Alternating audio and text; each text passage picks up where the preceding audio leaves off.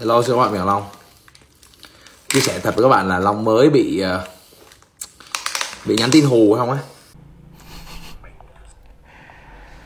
Anh Long mới bị hù thôi các bạn Còn mình đã từng bị tụi nó tố giác luôn rồi. À, Không những tố giác mà còn rất nhiều chuyện à, xung quanh cái ờ, những cái công ty đó. Các bạn cái chuyện mà chúng ta review những cái thuốc tăng cân, giảm cân hay là những thực phẩm chức năng mà nó chứa chất cấm nó có vấn đề các bạn nó không hề đơn giản đâu nha tại vì khi mà các bạn làm nó thì chắc chắn là nó sẽ không đợi yên cho các bạn.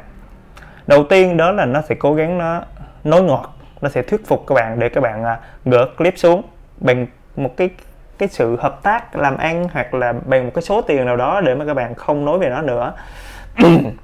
Nếu mà các bạn lì thì nó sẽ đến với cái bước số 2 đó là nó sẽ tạo áp lực nó sẽ thuê người này, người kia, giang hồ, giang hán đến để mà đe dọa các bạn. Đó, cái đợt của mình là chắc cũng phải sáu bảy thằng giang hồ bự bự con nhìn mặt sợ lắm.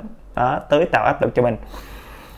Còn nếu mà các bạn lì nữa thì nó sẽ qua bước số 2 đó là nó sẽ thuê luật sư, thuê luật sư. Nó làm vi bằng rồi nó tố giác các bạn, ra cái công an chỗ các bạn ở đó. Thì đương nhiên là khi mà làm cái chuyện này là nó đã lo hết rồi. Nó lo đầu trên, đầu dưới này kia hết rồi các bạn công an họ sẽ tạo áp lực với các bạn để mà các bạn hòa giải với nó. Đó.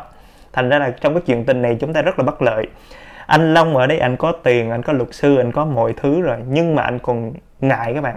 Anh còn mệt nữa. Thì mình là ai các bạn? Đó, cho các bạn biết. Thành ra là có những cái thuốc tăng cân, các bạn kêu mình review á, mình chưa có làm là như vậy. Minh Trí, đồng hành cùng bạn tăng cân an